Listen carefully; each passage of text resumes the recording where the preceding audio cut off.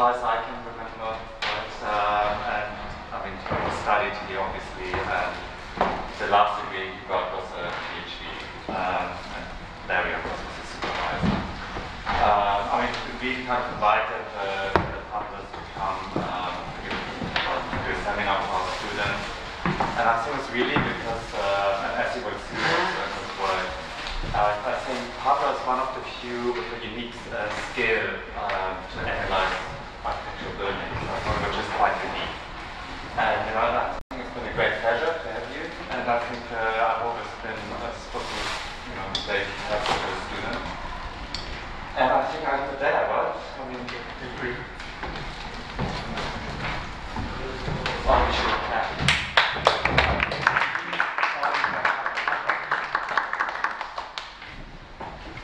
Is this loud enough? Yeah.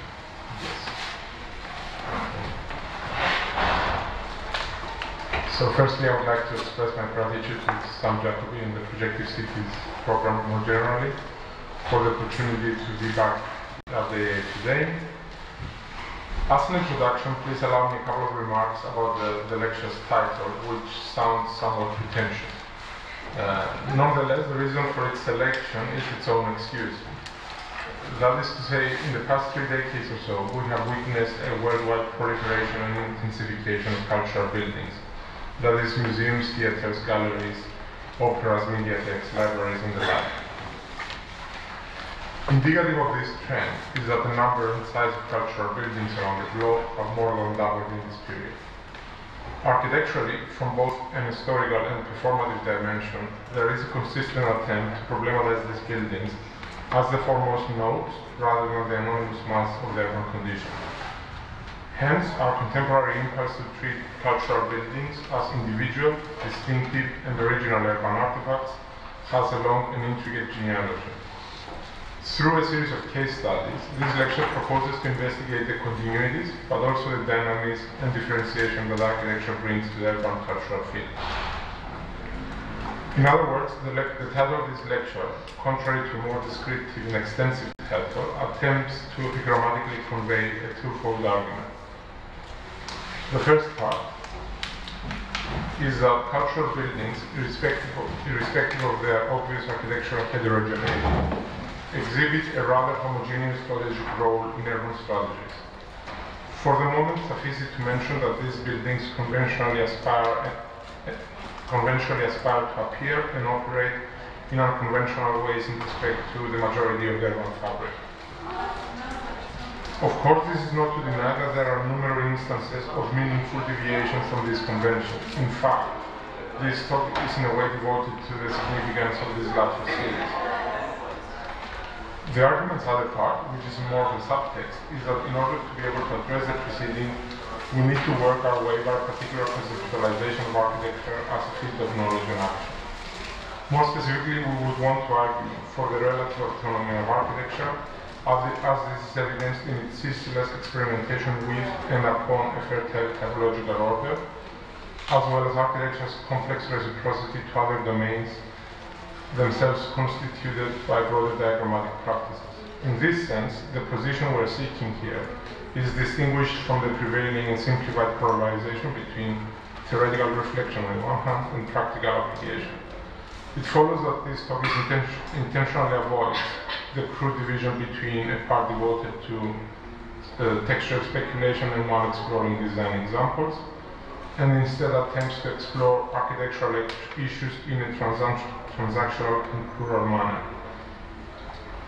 Now, as has been hinted, in recent years, cultural buildings have proliferated widely as keystones within urban strategies concerning both the development of new areas as well as the regeneration of underperforming ones. By aspiring to perform as primary urban elements, cultural buildings are typically expected to appear and function in, in amphibial ways, thus spatially indexing their individuality and singularity. Together, these observations begin to explain why cultural institutions are regularly pursuing the notion of originality or newness, and in a double sense, both as resource and as ambition. This can be discerned even with a glimpse on the titles of, of some recent publications on cultural buildings, and especially museums. New museums, museums for a new millennium, new museum theory and practice, new museum architecture towards a new museum. I could have gone on here. There, are, there is an incredible mass of this. In these writings, we repeatedly counter claims that Frank Gehry's Guggenheim Museum in Bilbao is an emblematic instance of this genealogy. To understand the consequences of this point, we can momentarily delve a bit further into the above-mentioned literature that insists on seeing Bilbao's Guggenheim both as an emblem of originality and as a means for its exploration. There, the Guggenheim is understood as uh, innovative in the sense of a new kind of design, where an exotic materiality furnishes an intricate volumetric arrangement, itself predicated on unfamiliar geometries. Second, it is asserted as novel in the sense of being dramatically differentiated from its context, both in terms of its morphology and its urbanism. That is, the Guggenheim is not only formally dissimilar from the 19th century fabric in its vicinity, but it, it is also distinct in its strategic contribution to industrial conurbation attempting to reinvigorate itself as a city of culture. Third, Bilbao's Guggenheim is also purported as regional in the sense of being institutionally receptive and responsive to the wider public, thus contributing to the latter's general cultural development without being overtly didactic and thus supposedly suppressing these public differences. But on closer inspection, can these claims verify the Guggenheim's originality? In other words, is it really new that cultural institutions take the burden of our cultivation as urban subjects, and that they do so through our pedagogical instruction and voluntary reformation, uh, responding to a present promise of self-improvement? Or does a work of architecture that boasts unconventional morphology justify the claim that it is an event for, for urbanism? Finally, is the, is the Guggenheim's urban role really, really new? We can begin to reflect on this by noticing that they seem less indicative of a new urban condition and more a watershed in the codification and intensification of more than a centuries long experimentation with cultural buildings. For the latter have had a distinctive yet unstable role to play within urbanism, as this is witnessed in cases as early as Vienna's late 19th century Ringstrasse development or Tony Garnier's early, early 20th century scheme for the city industrial.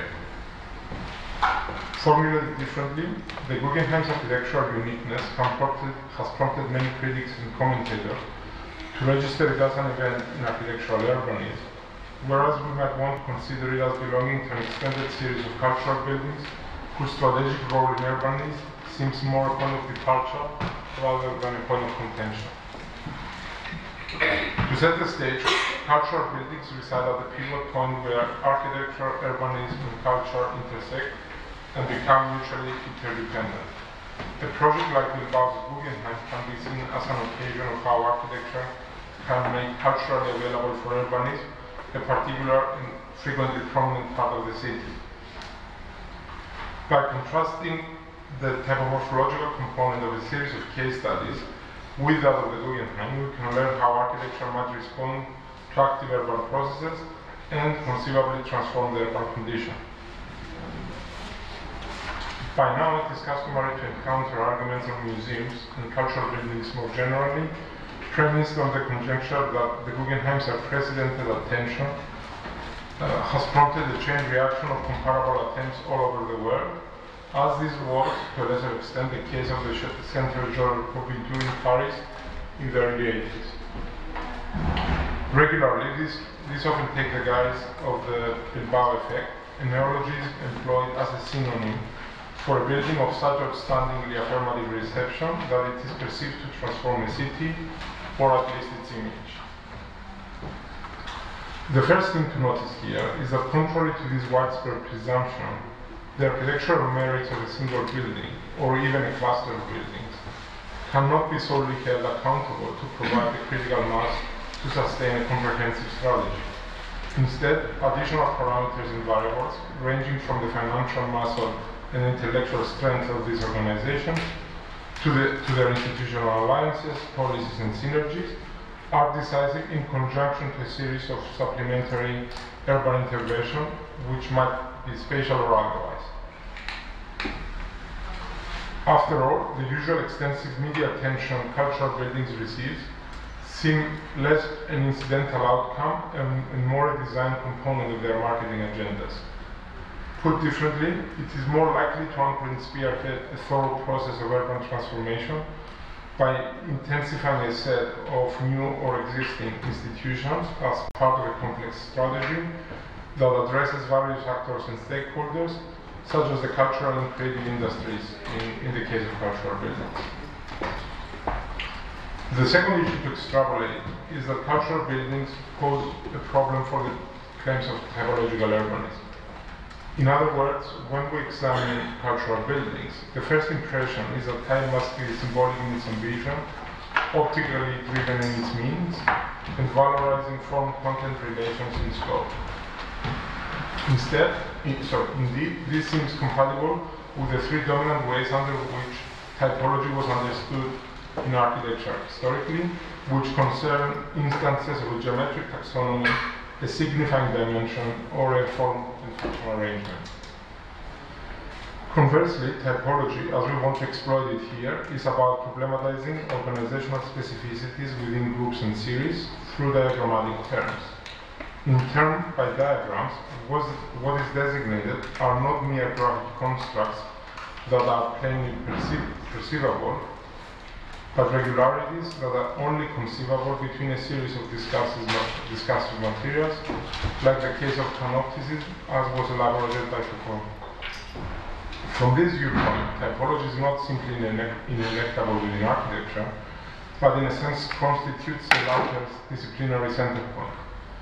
Indicative of this is that any and every architectural conundrum is inevitably parsed however laterally, belatedly, or unknowingly on, on behalf of its authors, through a domain that is comprised by other structurally analogous occasions. Rather than that typology being debilitating, what is proposed here is a renewed attention to type as a virtual spatial organizational specificity in its interrelation to a diagrammatic order. This reveals a transformative and generative potential of type at the same time that it distances typology as the, as the domain of reasoning on types from its conventional approaches, all of which end up casting it as somewhat rigid, reductive, and stagnant.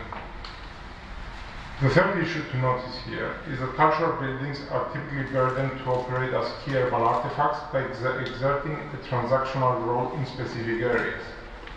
Put differently, our heightened expectations of these buildings is not merely a projective hypothesis, but, but also diagnostic speculation, itself premised on a broader conception of the city of parts. Unsurprisingly, two of the foremost critiques of modernism, namely the architecture of the city and collage city, have made important contributions in this direction, enabling us to follow their lead. Certainly, up to the 20th century second half, architectural and planning discourses emphasized a sociologically driven and aesthetically oriented understanding of urban areas. In this, the strategic questions were reasoned sociologically, where, while the spatial issues were dealt aesthetically. Conversely, these two books are part of a set of arguments emerging in the 60s and 70s, which attempted to critically reappraise architecture's role in urbanism. Both make a convincing case that the city's processes of formation are many and varied, which yield different and differentiated parts.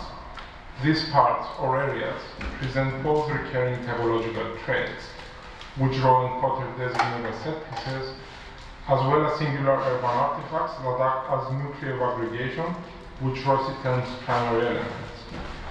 By often assuming the latter role of primary elements, cultural buildings not only respond to particular areas, but they have the capacity to change them.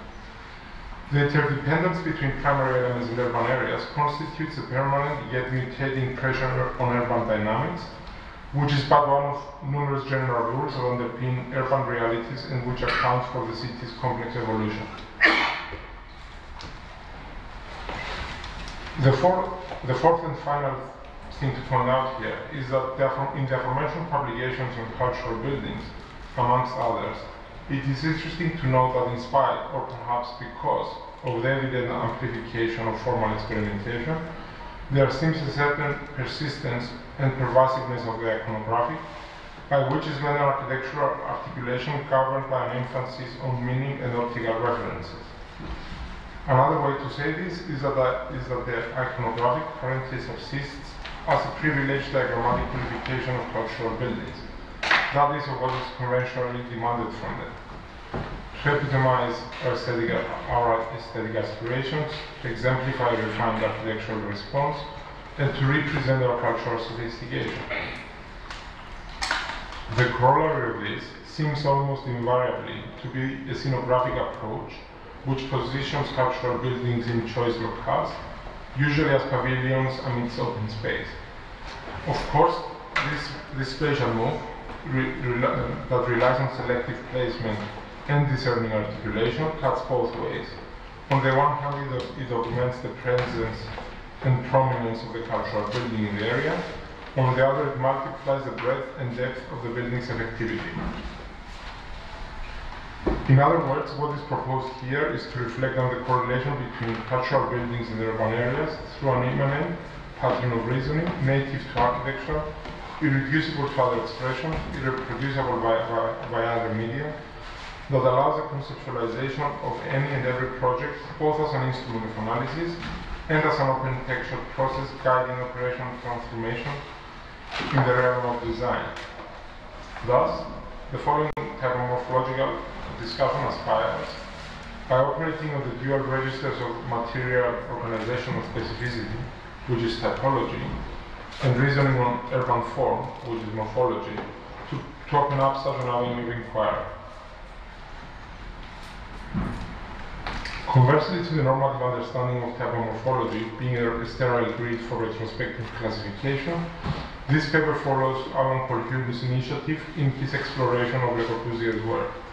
There, the former's argument is that the latter's works are innovative in that there is a primary acceptance and subsequent uh, reinterpretation of architecture's tradition.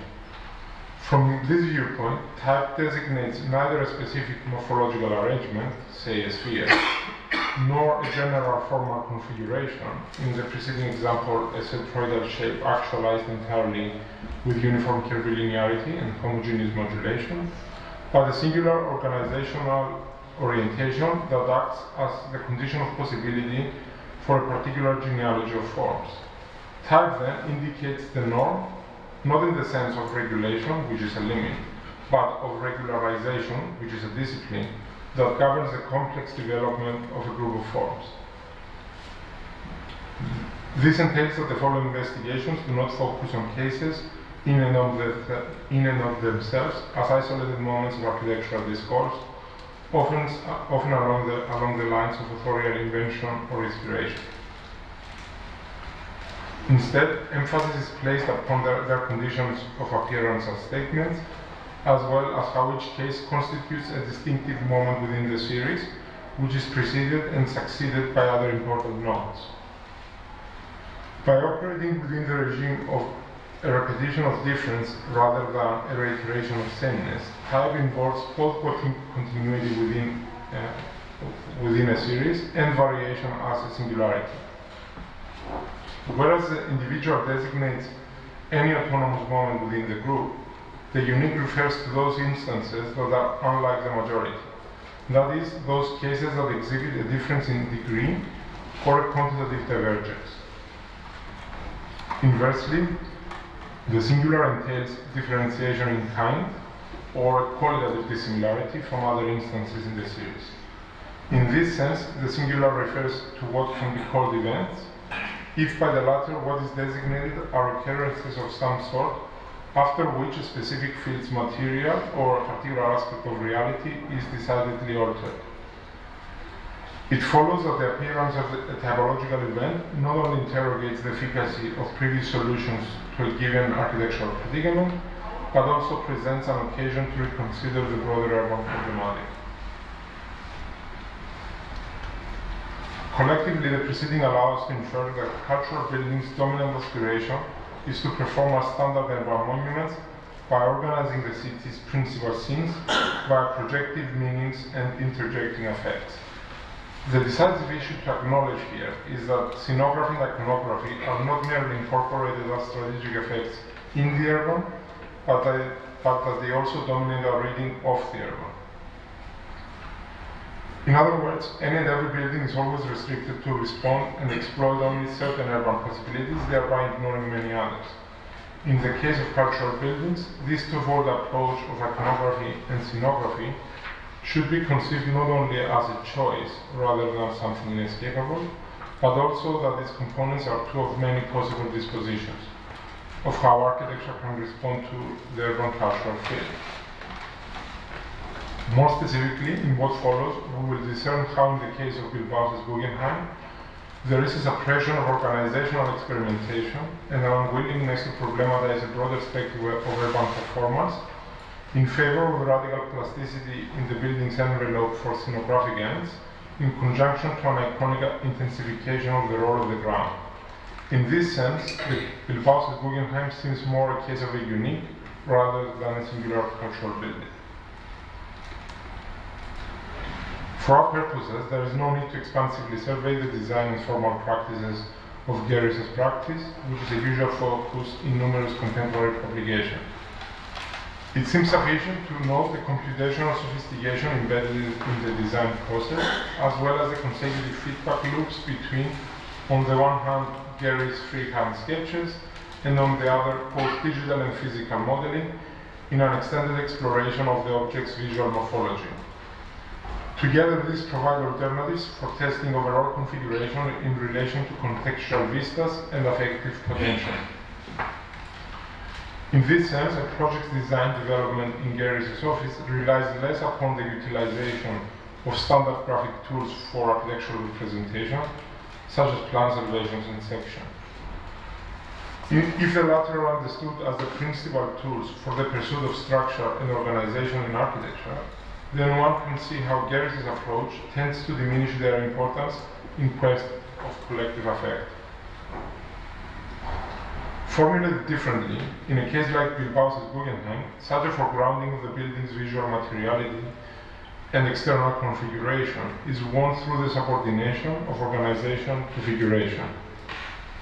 Indeed, the Guggenheim follows a long-standing approach that complements morphological innovation on the exterior, with the ground acquiring the role of a foundational datum upon which the building figures as a formal incident. Specifically, this is accomplished on the one hand with the museum stepping back from its street front, articulating an open public space in between its massing and the city's tissue. On the other, the, the river promenade steps out over the edge of the south bank in order to distantiate the viewer from the building and facilitate a more intense optical experience.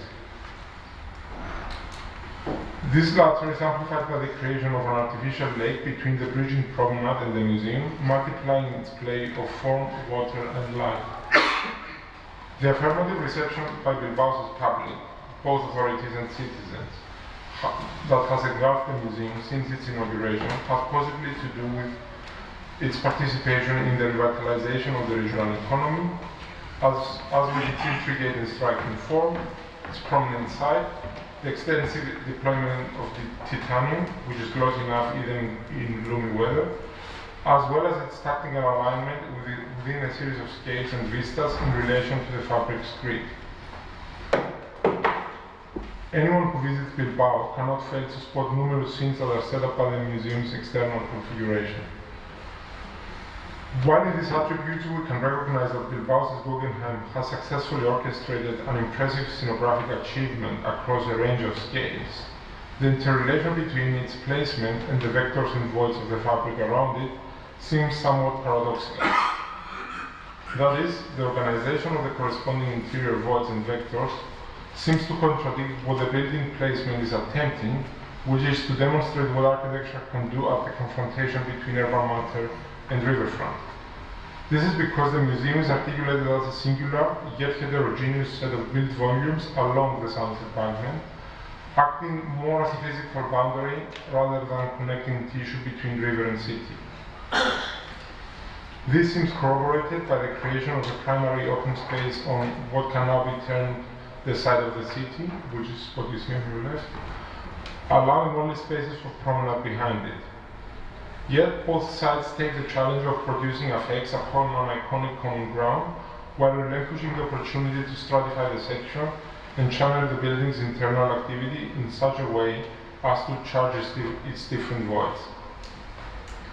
Evidently, a building cannot exploit all the possibilities embedded in, a, in an intricate setting such a waterfront, yet to avoid seeing the river promenade as a thing in itself seems to have never been a priority here. In this respect, the museum retains a conservative position towards type, which on the occasion of cultural buildings, due to the urban expectations discussed above, but also because of the requirements to filter light, sound and access, usually predisposes us towards spectacular insular containers. In other words, the Guggenheim does little to reinterpret what a cultural building is, since, emphasis, since its emphasis was oriented less on organizational experimentation and more on surface innovation. This point can be furthered by juxtaposing the Guggenheim with a project like Denys Lasdun National Theatre in London. Here, the required spaces for foyer and public circulation are exaggerated, not in terms of actual volume, but in terms of performative charge, both to organize the building's internal structure and in, its interface with the urban area, integrating the building's activities to those on the waterfront. Rather than succumbing to an iconic problematization of, the, of a blind interior, the National Theatre's composite superimposition of cantilever players, balconies, themselves partly exterior and partly interior, operate simultaneously both as an open-air auditorium from which the life of the city is experienced, and a multi-story exterior stage presenting the drama of its colonization. This argument can, can be continued through the museum's sectional manipulation. For its iconoclastic material repertoire, Bilbao's Guggenheim adheres entirely to the time-honored convention of cultural and, and civic architecture's articulation of the ground, which comprises a sequence of road, open space, podium or stopper, which acts as a disengagement device, the formal entrance, an imposing a foyer atrium, which then continues through a series of independent yet interlaced spaces usually what in museum architecture is called the enfilade galleries. This sectional regularity is so prevailing that is encountered in most cultural buildings. President Drake from Leo von Klenze's Glyptothek in Munich, to Charles Garnier Opera in Paris, to Columbia University's Law Library by McKim, Mead and White, to Henri van der Velde's work in Siender in Cologne, to Colin St. George Wilson's British Library, um, further down the road, to Norman Foster's Carré d'Art uh, in Nîmes. The only major difference between the Guggenheim and all these counter cases is that the socle or the podium is sectionally lower rather than elevated in relation to the open space. This is in accord with the designation of the lower of its three floors as the primary access level so that the ground plane of the foyer is sectionally aligned with that of the river promenade. To pursue this a bit further, a comparison can be made here with Lina Bo Bardi's Sao Paulo Art Museum, also known as MASP. Here, this pervasive coupling of traditional grounding with a conventional entry is avoided, not only to the amalgamation of, of public space in podium, as well as the rejection of a grand entrance, but also and primarily because a substantial part of the museum hovers above the open space allowing the realm of public, uh, of public life to traverse the site while shielding it from rain and sun. In a close reading, the MASP reveals that all its interior spaces are positioned either below or above the building's primary datum, as this is defined by the void extending the Avenida Paulista in the plot. Indeed, the lower part, by assuming the guise of a partly buried two-story mass, retains to the city the ground it colonizes while the upper part, orchard to floor volume, takes the format of a complicated and expanded roof, which converts the rooftop from mere practical sheltering to architecture's primary terrain of inhabitation. In this, in this sense, the event actualized by the MASP is the orchestration of a significant urban void, understood not simply as unbuilt, but in the sense of a significant urban amenity that is autonomously defined yet relationally performing. In terms of planimetric organization, Bilbao's Guggenheim is geometrically articulated around a multi-story atrium, which is distinguished from the entrance and topologically central in relation to its exhibition spaces. In this, the museum's conformity to the canon of an enfilade galleries, which are sequential and serially interlinked around an essential core, becomes evident. Due to the Guggenheim's morphological complexity, this observation is more perceptible in the visitor's illustrative guide plans, conversely to the building's architectural drawings that utilize more complex notation. So, on your right. Here we might want to note that such a planimetric persistency is encountered roughly as often as the above-mentioned sexual regularity. While this is not to suggest that the two are necessarily codependent, they nevertheless present an irrefutable complementarity as both are compatible with, the, with an iconic architectural gesture within a scenic urban setting while resolving the needs for filter illumination and acoustic as well as controlled access. Another comparison can be drawn here, this time with Mies van der Rohe's New National Gallery in Berlin, a comparison pertaining to both planimetric and sectional formation. Here we witness not only the division, sorry, here we witness the collapse not only of the division between podium and open space, but also the traditional distinction between entrance, foyer, and some of the exhibition spaces.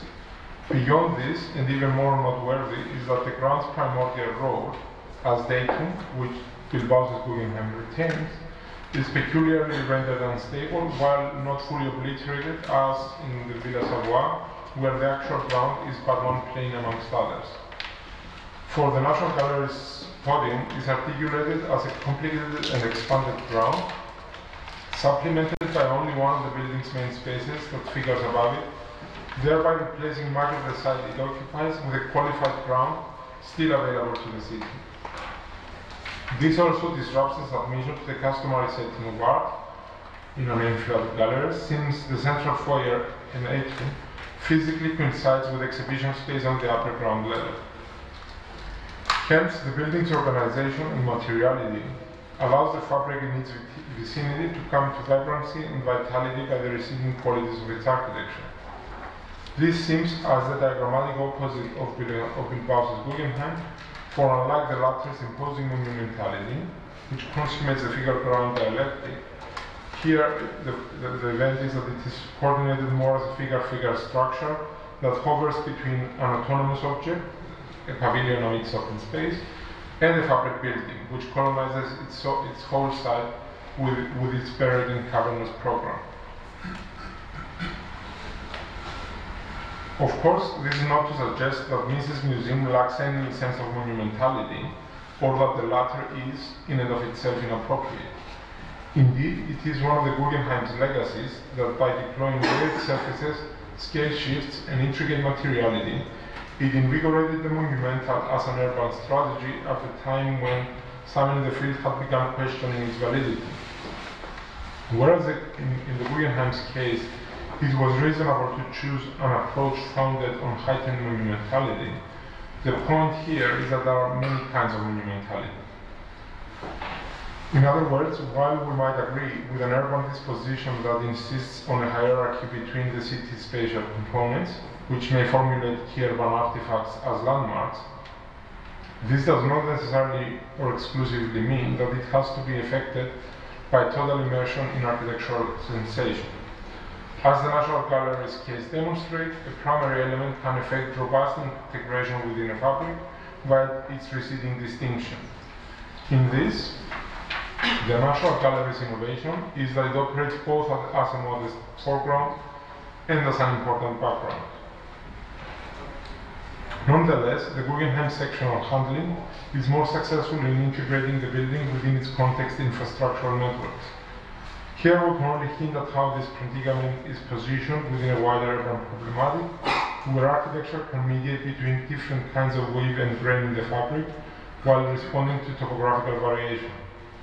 Again, we might briefly contrast this with a case like Affonso Eduardo Reidy's Museum of Modern Art in Rio de Janeiro, Abalos and Herreros' Usera Library in Madrid, OMA's Casa da Musica, uh, Jean Nouvel's Musée de, Musée de Branly in Paris, and Zaha Hadid's Phaeno Center in Wolfsburg, where the reception is extensively and intensively negotiated in multiple frameworks, not just infrastructural, but also institutional, structural, and configurational.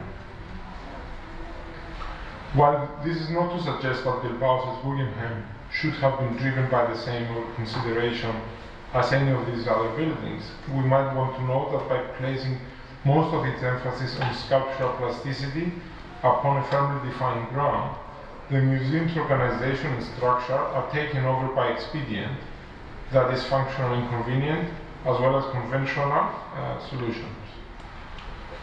Formulated differently, in Bilbao's case, a multiplication of the ground is dismissed precisely in favor of the twin imperatives of scenography and iconography.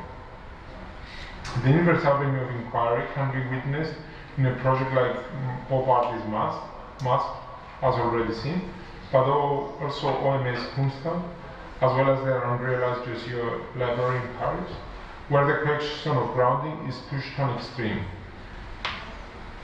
The latter two, as Eisenman has argued, follow the lead of Le Corbusier's Palais de Congrès in Strasbourg, in staging a vertical continuum of manifold grounds where the floor levels are ramped, sorry, where floor levels and ramp circulation are siderally coordinated as a singular helical trajectory connecting the ground to the roof, it's itself understood as one of many ground planes.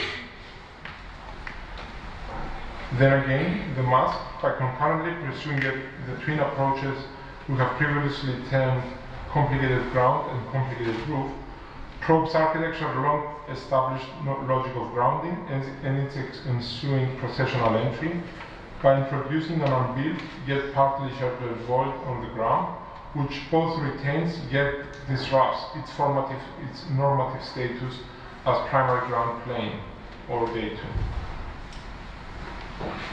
Whilst the public reception of the Guggenheim has focused on its exotic materiality and its initiation of Bilbao's repositioning as a city of culture, there is another perspective which would emphasize its contribution to urban matter. From this perspective, the challenge which the city faced in this project was that of drawing urban life down the river Nervion once its previous industrial life had left.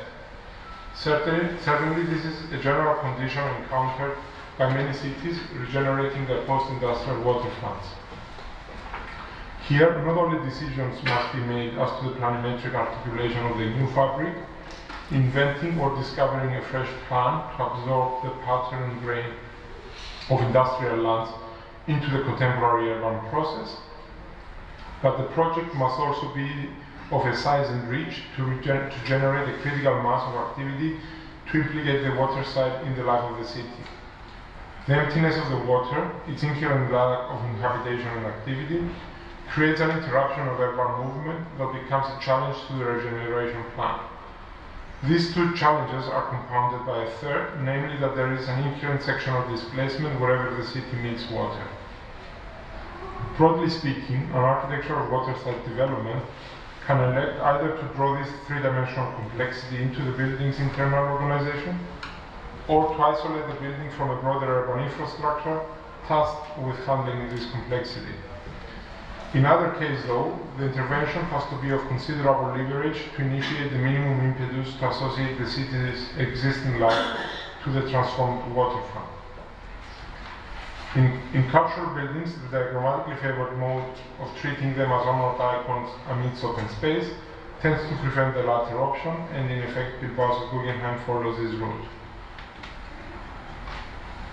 This argument comes into full relief if contrasted to an alternative response to the same problematic as exemplified by the National Theatre.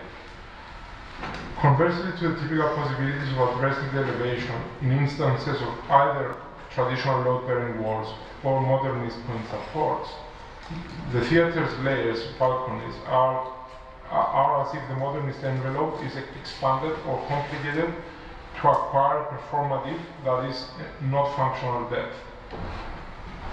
This can be termed as a move from scenography to theatricality if the latter is understood as unleashing the institution's theatrical dimension beyond its three theaters and into the foyer and balconies, so that the building is not merely hosting drama, but, it, but becomes itself intrinsically dramatic. Earlier, we have hinted that today's impoverished conception of type might partly account for our incapacity to reach a more profound understanding of the correlation between cultural buildings and urban areas. This seems to be a failure that expands historically, which tends to condense cultural buildings' range of urban responsibilities to semantic and semiotic effects, thereby accentuating the iconic, scenic, and symbolic registers of their architecture. In, Bil in Bilbao's Guggenheim case, this is illustrated, for example, in the calculated contradistinction of stone-clad rectilinear volumes that are perforated with traditional openings to blind titanium-clad curvilinear surfaces that are supplemented with few transparent curtain walls. By carefully juxtaposing both these sets of masses upon a shared iconic ground, the former conventional parts stress the latter's unorthodox materiality, yielding an overall synthesis of precarious balance and playful interaction, itself in the service of inflating architecture's scenographic potency. In this sense, the decision to reduce the ground on either side of the building to lines of movement and viewing opportunity seems to have gone unnoticed by critical attention. It is such a receptive reading of, of Bilbao's Guggenheim which led many commentators to apparently to assume that this disposition is unproblematically repeatable since it apparently constitutes an, an exemplar of what architecture can do in a prominent city setting. This seems to be the case both for other cultural institutions commissioned after the Guggenheim success around the world, as well as other singular buildings along Bilbao's river esplanade, with a diminishing value in, in a recurring urban strategy. Rather than seeing this as erroneous, we might want to note how this is part and parcel of a discursive pattern in the field, ever since a series of critiques of modernism emerged in the 60s and 70s as well as their ensuing practice. Contrary to someone like Reyner Banham, who argued that modern architecture did not succeed to become overly modern, Robert Venturi criticized his contemporaries for their unconditional commitment to a movement that was abstract and amnesia. In contemporary contradiction in architecture, Venturi criticized modernism's semantic contempt and semiotic reductivism as he counterpoised their sedimented richness in, in historical precedents. Furthermore, in Learning from Las Vegas, co-written with Denise Scott Brown and Steven Izenour, modernism was reproached for its lack of inclusion and allusion. That is, inclusion of everyday imagery and popular taste on the one hand, and allusion to architecture's conventions and traditions on the other.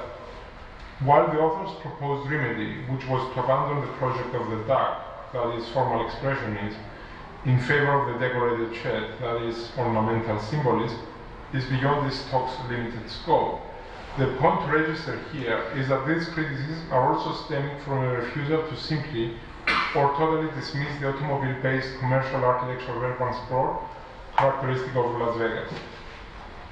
However, by highlighting the latter, not merely as given, but as exemplary, the authors began to blur the boundaries between commercial signage and public symbols, at the same time as prioritizing architecture's scenic and iconic components. Accordingly, the authors concluded that only an architectural urbanism that explores, that explores the scenic potentials of iconic visibility in order to support intensity makes sense amidst a landscape of expansive distances, unrelated structures, and accelerated speeds.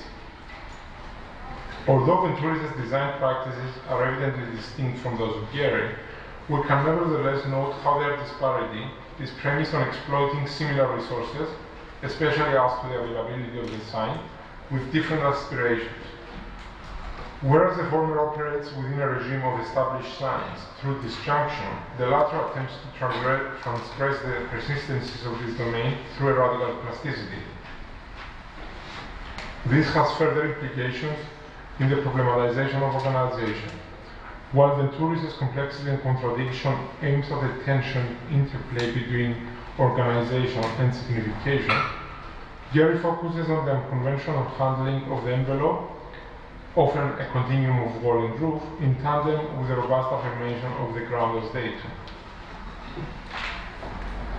For their part, the Italian rationalists attempted to restore architectural status in urbanism by underlying the intimate and reciprocal relations between the two. Typology was forged as a central concept in this endeavor, generating the possibility to reason systematically both in the analysis of historical precedent and in the projection of conceptual displacements. Although typology's raison d'être might have seemed well defined, the way it was exploited was somewhat ambivalent, as it seems to have fluctuated uncomfortably between semiological and organizational attributes.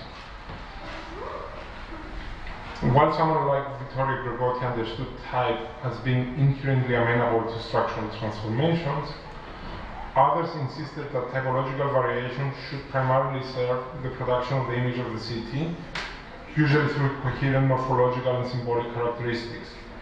Still, both readings uh, uh, are felt uncomfortably in Colquhoun's writing, as Larry has pointed out, something inviting further elucidation. Nonetheless, we should not conceive this as indicative of a theoretical confusion, but as indexical of a discursive shift effected ever since modernism allowed architecture to discriminate between the building's envelope and its organization, thus liberating the facade to generate affects and meaning independent of internal manipulation. The point to mark out here is that by the time Rossi was writing the architecture of the city, there was a substantial confluence between these two. In this light, it begins to make sense why Rossi ended up proposing to investigate primary elements and monuments on the same register. Gehry, beyond the profound differences with Rossi, seems to follow this same trajectory conflating these two, thereby stressing the role of scenography and iconography in the city. Ultimately, what seems relevant for contemporary practice in, in these seminar books um, is that architectural signification is not only thought to be always already present, but as amenable to problematization as being independently in presence. That is, given that cultural buildings tend to acquire the role of primary elements, as well as being intrinsically burdened with considerable iconic and scenic expectations, it is unsurprising that we often, often seek to handle them as visually oriented and optically inflated monuments, something underwriting both their performance in the city and our perception of the city. The considerable focus and accomplishment of Bilbao's Guggenheim was the articulation of an outstanding scene implicating in the waterfront, comprised by the building's exotic materiality in tandem with an iconic affirmation of the ground as datum. In this, the project has surrendered to the disposition of the ruling cultural diagram, which prompts us towards a scenographic vector within an iconographic trajectory. As has been stressed, sorry, as has been stressed, this is not a flawed approach. Yet, if there is a failure, this would be the failure to explore the broader spectrum of possibilities. In other words, the material and formal practices that generated the Guggenheim have suppressed the possibility for organizational experimentation, especially in the multiplication of the ground, even when it was more difficult to do so, considering the topographical discontinuity between the level of the urban fabric and that of the river promenade. In this sense, the Guggenheim seems less a case of a singular cultural building and more a case of a unique one, since it is a radical instance of the convention, pushing further, as it were, a differentiation in degree within the horizon delineated by the prevalent approach. This point, taken together with the Guggenheim's approving general reception, drives home one of these talk's underlying hypothesis, which is that cultural buildings are subjected to a diagram which we seem not to fully grasp. In contradistinction to the Guggenheim, architecture does indeed contain a number of typological events which deviate from this normative theme, and in, so, in, in, in, so, in doing so often have alternative strategy, strategic roles for cultural buildings in areas. Among these, among these events, we should include the three counter case studies we have seen earlier, namely Berlin's National Gallery, the MASP, and the National Theatre in London. In a superficial evaluation, these cases justify the average criticism leveled against modern architecture, where, where its alleged inattentiveness to historical precedent has produced inadequate results in comparison to the city's traditional spatial assemblies and their communication. Yet, as the readings offered here attempted to clarify, these three buildings co contribute to the question of how we build next, since their symbolic, iconic, and scenic qualities are not their key aspects as work of architecture. Ultimately, the issue here is not so much to emphasize the differences among a series of cultural buildings, but to highlight the alternative potentialities made possible by their typological differentiation. Specifically, the event engendered by the new National Gallery is that it seeks urban intensification by a crafted yet recessive engagement with its cultural quarters. This is achieved by exploiting the, the, the, the possibilities of a complicated ground, which not only departs from the conventions of figure ground configuration, but also enable its, con its constitutive parts to perform as unresolved figures within, within the existing urban grid. In this way, the building establishes a cunning interplay between freestanding object and urban texture, thereby fabricating an interdependent bond with its area. On the other hand, the MASP also sought to formulate the, the, the cultural building as a distinctive urban component of its area. And, not too dissimilarly from the National Gallery, emphasis here was placed upon the formation of an urban void with a strong rapport to its area's density and intensity. However, by exploring the possibilities of a complicated roof, the MASP not only departs from cultural buildings' conventional entry and grounding, but also manages to integrate its speciality to the existing network of open spaces without being fully absorbed in them.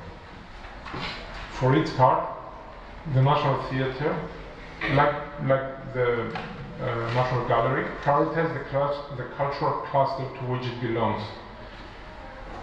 Here, focus was oriented in departing from the predictable handling of the cultural building's envelope, usually the boundary between an exceptional interior, sorry, usually the boundary between an exceptional exterior and an introverted interior. The event here is fleshed out by harnessing the possibilities of a complicated envelope operative as an expanded threshold. In this way, the theater incites internal activities to spill outside and vice versa, while action is multiplied and interspersed on many planes. We began with claims on the novelty of Bilbao's Guggenheim Museum as a cultural building for framing an investigation of both its innovations and regularities. What we have learned is that a building like the Guggenheim acting as a diagram describes specific roles for culture and public space in efforts to regenerate cities in the wake of industrial decline and the rise of knowledge economies. In this particular example, we see how architecture look, looks outward, defining a strategy of urban transformation, while doing so with an organizational schema that remains quite rooted in the tradition of cultural buildings. It does little to look forward or innovate. This would be the role of an architecture that takes full advantage of typological reasoning, probing the capacity of architecture to offer a fertile avenue of inquiry through internal transformation. Thanks.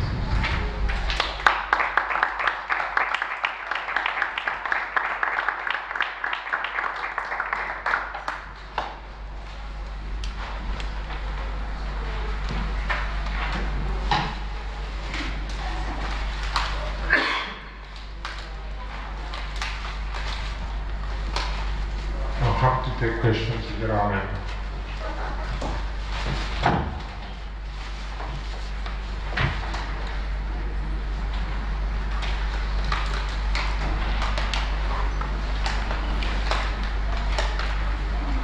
Good. well, um, Pavlos, uh, you know, one, one of the things that I, I remember Eric Carey bringing up, uh, in a way starts to extend some of this. Um, the, um, he was, he was saying, okay, well, i- if, um, let's say if we take Lasdun's uh, National Theatre, and if we take the um, uh, National, uh, National, New National Gallery uh, Archimedes in Berlin, you, I think quite rightly made the claim that they do a better job of articulating with urban potential than many others. We can learn from them not only because they're, they show typological difference, but the way in which they explore that typological difference has something to do with their surroundings. Um, when you've drawn this, though, you don't redraw those those surroundings. Uh, do you feel that in fact the potential is contained entirely inside the type? Or is it something that, that would lead you similarly to redraw the surroundings if you were going to extend your, your line of thought? Um, I, I guess um, the considered reply to the question would be that it is internal to the time, to the degree it can respond to the diagram. Nevertheless, there are many aspects of the the diagram, of the cultural diagram, that you cannot control. Um, in this sense, I think I mean, if, if, if I was to offer a, a criticism of my lecture, I think it lacks in, uh, in, in terms of graphic material or fleshing out some of the things that are there in the text. Yeah.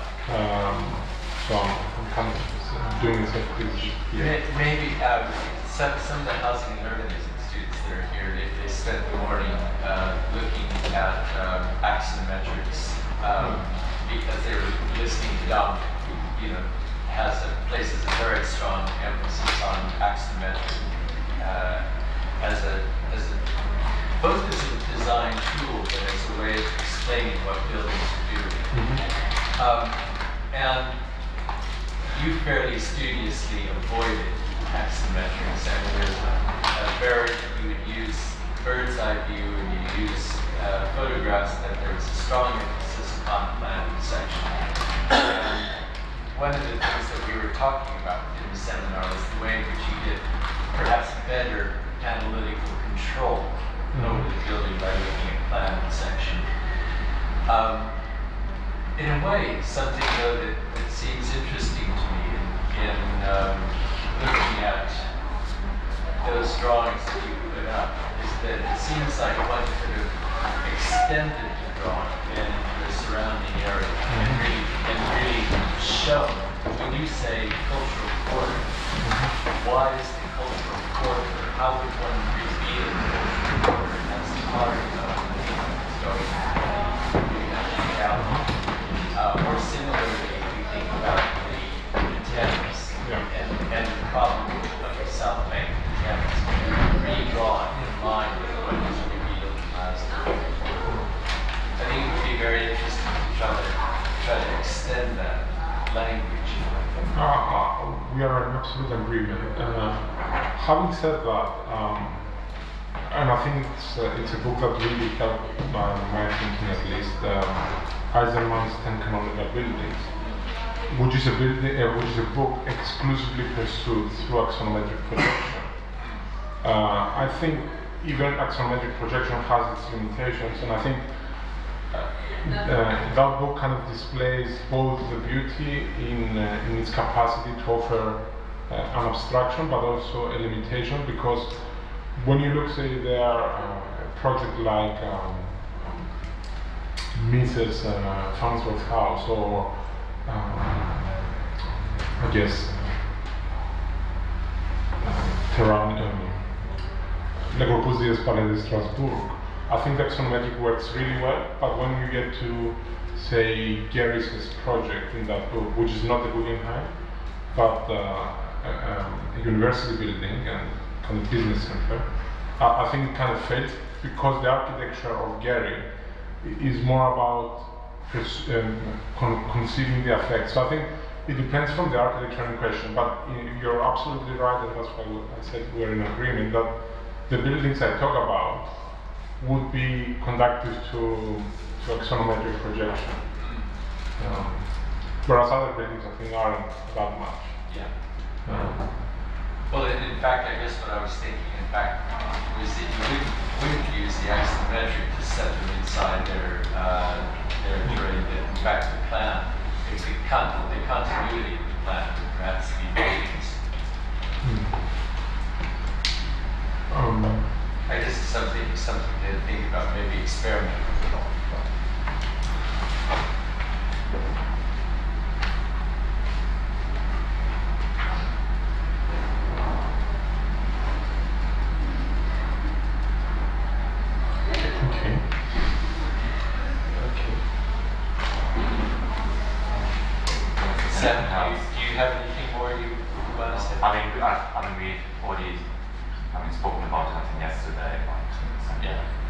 have done already a seminar yesterday, something with the Objective City program. We already had a, uh, an ongoing discussion. Yeah. All right. Well, thank you very much. Thank you.